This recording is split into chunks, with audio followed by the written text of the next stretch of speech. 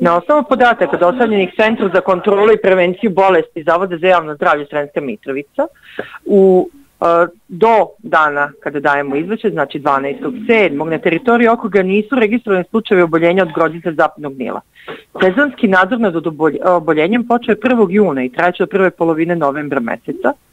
Za naše geografsko područje karakteristično je da vektori postaju aktivni u proleće, a period njihove intenzivne aktivnosti je od kraja maja do septembra.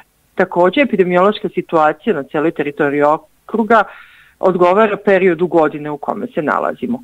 Za sada nemamo prijavljenih epidemija zaraznih bolesti.